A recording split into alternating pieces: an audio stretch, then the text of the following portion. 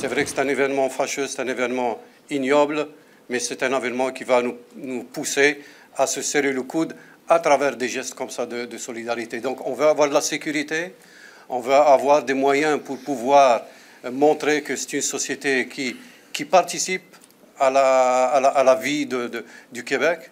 Ça nous a bouleversé comme ça nous bouleverse tout acte violent qui touche l'humanité partout dans le monde, à Québec ou ailleurs. On est vraiment contre tout acte violent contre n'importe qui, contre n'importe quel humain. Our society uh, is a very open, tolerant, and hospitable place. But we're not different from other societies. We have the same devils in our society. Xenophobia, racism, exclusion exist in Quebec too. Our role as uh, leaders is to express without any compromise our rejection of these type of thoughts and, uh, and attitudes.